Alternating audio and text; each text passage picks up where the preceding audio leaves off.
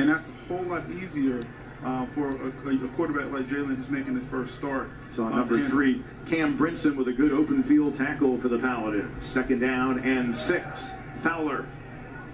And intercepted Travis Blackshear. Hunt comes from behind to take him down. First turnover of the game, and Blackshear, an interception back in the spring, and a Furman team that tied for the lead in the SoCon with eight picks. And he gets the crown, does Blackshear, with the first interception for his D here in the fall. Blackshear did a great job reading the quarterback's eyes and came off of his man and got into another zone and made the interceptions. Great job right there, reading the quarterback eyes, and then again making a big turnover. Critical here in the third quarter to get that momentum back on the Furman sideline. Great job. So they've got the the hat or the, the crown.